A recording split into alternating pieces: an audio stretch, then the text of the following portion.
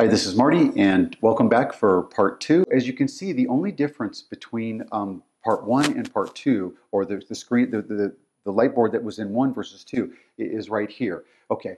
Um, so what, what you have here is you have age and you have a scale. The important thing to remember about the scale and and basically, uh, well, I, might as well you know be concrete now again. Uh, when can narcissistic personality disorder, as a noun, uh, be uh, diagnosed and pinned on a an individual? Uh, that would be never, never, never. Um, and the reason why is because uh, you are calling someone you're, you're, you're calling someone a very serious noun. And because it's a scale and it ranges, we are ever changing.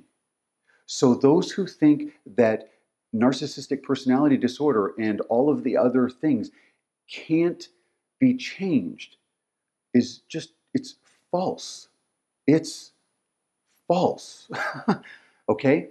When you reach nine and tens and, and malignant and sociopaths and psychopaths, they're, they're, they're, it's not that they're rare, they just go through life like a wrecking ball.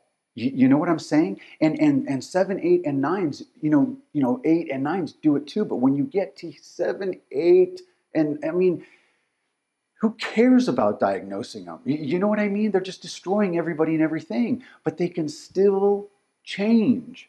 They can. It's ultra rare. It is. I'll agree with the academics and I'll agree with everyone else. But with that being said, all right, um, what you have here is uh, age and a scale. This is now in the form of a clock. Okay. Now the difference between uh, th- this clock, or what looks like a clock, and the age one is that the age one only spins in a counter I'm sorry, in, in, in a clockwise motion, which is depicted by the arrow. So it's one, two, three, four, five. Okay. Now, the scale, this one, it rotates both ways as someone goes through life. Okay, you see what see what I've done? Okay, so if you put this scale on top of this one, and you were able, and there was a, there was a transparency, and you could see the age, you could theoretically move the scale to someone's age for appropriate, normal behavior. And as things come into their life with, and again, with, with regard to planetary narcissism, the, the outer diameter of who we are, like it, what encompasses everything about us, it, it can't grow, right? So as we go through life, in our age and we get older. We're never getting younger. We're always moving through time and getting older. We're aging. The scale can move based on environment, what happens to us, whether it's good or bad. Like, for example, you ever met someone who got super successful? What happened to them? Huge ego. The scale moved, age didn't. And as they go through life and get older, is the scale staying the same and moving with them, right? Or growing?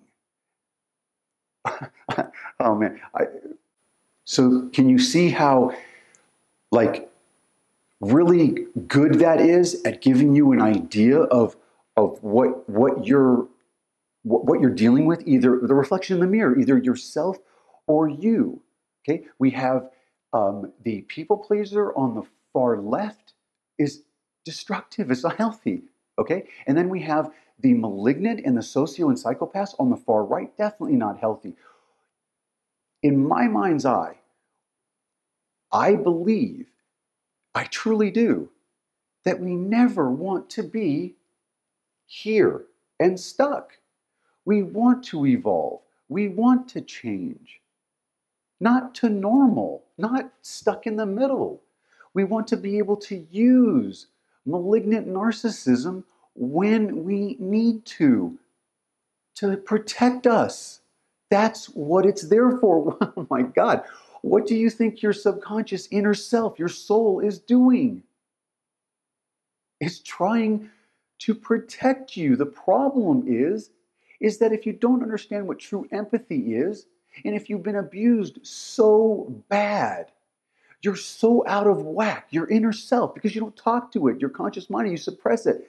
So it stops talking, it just dies. And that's what the and that's the difference between I think what the academics and the and the, and the therapists don't understand. I, oh man. Okay. The entire world, it appears to me, is determining that the inner self and its ability and its ability to survive and strengthen and harden to get through the abuse is a bad thing.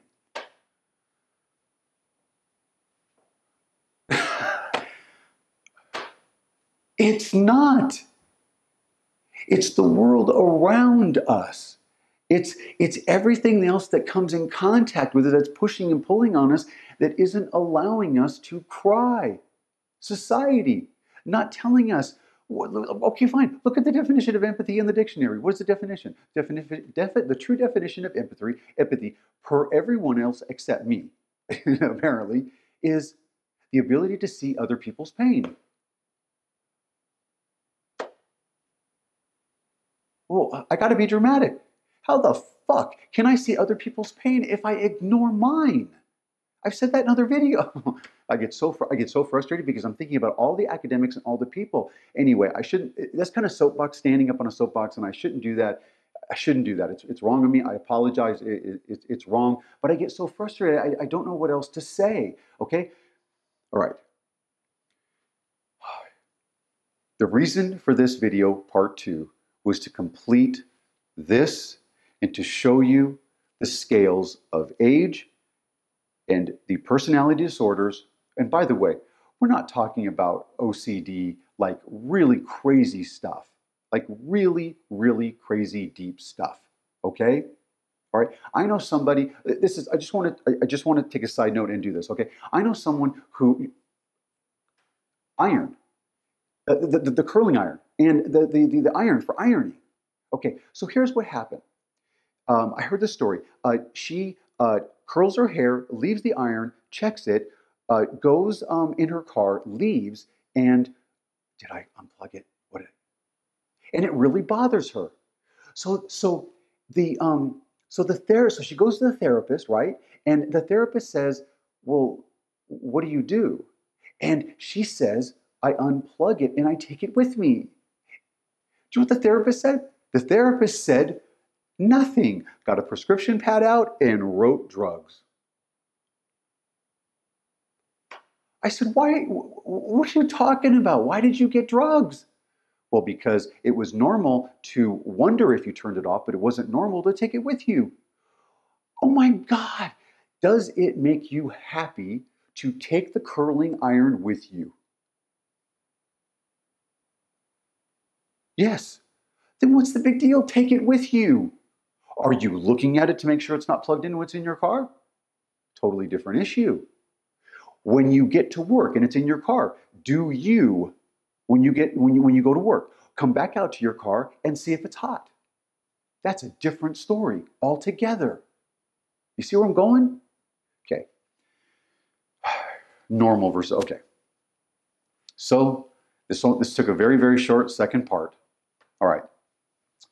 When can narcissistic personality disorder be diagnosed?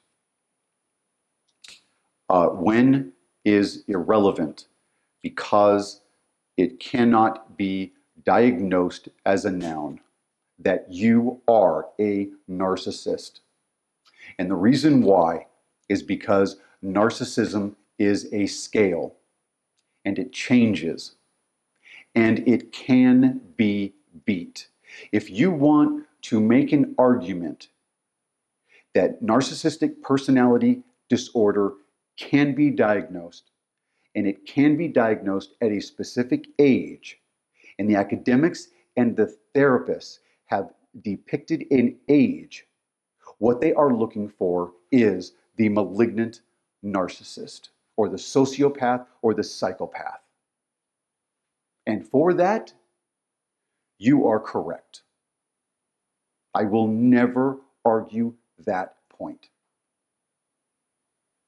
Malignant narcissists and sociopath and psychopaths are rarely diagnosed. They are rarely seen in the wild. They are rare. Now, what is not rare, sad, but what is not rare is all the people that are all the way to the end of that scale and all the way to there. That's not rare. That's everyday life. And that's why we're here. That's why I'm doing all of this. That's why we're here. Everyday life. My entire life and everyone in it has been there. I only know one malignant, and that is my stepfather. When can narcissistic personality disorder be diagnosed? If so, when? If not, why? Narcissistic personality disorder cannot be diagnosed unless you are dealing with a malignant narcissist or a sociopath or a psychopath. There are no scales as it relates to sociopath and psychopath in comparison to the scale of narcissism and or the people pleaser type individuals. It's a scale. So therefore, it can't be diagnosed until you get to malignant narcissist. So therefore, malignant narcissist should be its own category, separate from narcissism. But because the academics like to, I don't know what, but create these things, I, I don't understand it, I don't get it, never have, I never will, so be it. But what they do is uh, they basically, uh, by their own definition, by its own scale, and I've adopted it when you're dealing with malignant sociopath, psychopath, you absolutely uh, can diagnose it. And anyone who tells you that it's diagnosed at a certain age, uh, when you're dealing with malignant sociopaths, psychopaths, uh, there is no age appropriate. It's not 18, it is when a person shows malignant sociopath, psychopathic behavior on an ongoing basis. Anything under 25, it's going to be, oh my God, so evident that this person is going to be doing things that no healthy individual would do. So it's very easy to see they've already committed horrendous crimes. They've already hurt, they've already hurt other people. I mean, uh, what, are we talking about here? What are we talking about? okay? oh, man. All right? The, the 18-year-old malignant sociopath psychopath is not sitting down with you at Christmas dinner next to you, next to your daughter. he's just he's just not. All right. Okay. Other than that, it is absolutely false. An individual with NPD cannot be diagnosed at any age when it's not malignant, certainly not sociopath, and certainly not psychopath. Have I proved it? Yes, I have. Here's the proof. Because it's a scale and it moves and twists back and forth and because age never stops moving forward. Because as we move through life, we are not set in stone.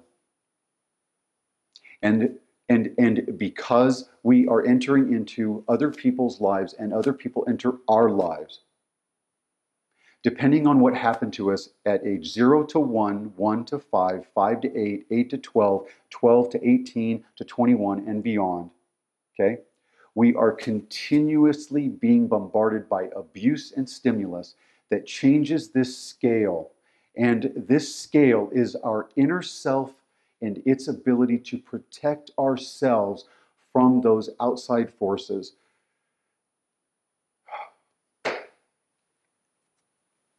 So the answer is it cannot be. And there's the proof. End of story. If you want to be close minded and negative, then everything I've said is completely wrong. And what is one of the definitions of narcissistic personality disorder? What's one of the traits? The inability to see someone else's point. The inability to engage in a conversation with someone else's point and to be able to maturely communicate your feelings, hear their feelings, to be able to absorb what they're saying, and to be able to repeat it back to them without defending or attacking, and then to be able to present your point and for them to be able to do the same.